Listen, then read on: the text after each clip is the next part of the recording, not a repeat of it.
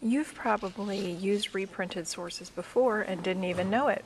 In an example of a book like this, if you look at the table of contents, you'll be able to tell pretty quickly that each chapter is written by a different author, but you can't tell if it's reprinted unless you actually flip to the chapter and find at the bottom the reprinted source information. Similarly, in a book like this, again, in the table of contents, you can tell that each chapter is written by a different author, but you can't tell if it's reprinted unless you actually flip to the chapter and check around for a note, and there you have a note saying that it was originally in a book.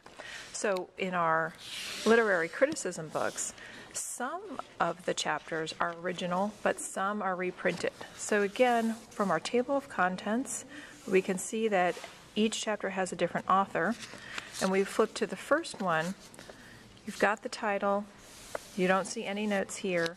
You get to the end of the chapter. There's also no notes. So you can assume that this was written originally for this book and you just cite it as a chapter in a book. But for another example, when you open that up, it looks just the same. There's no notes at the beginning, but when you flip to the end, there's actually a small note in italics that tells you that it originally came from a journal. So this one is a reprint, and you have to cite it that way.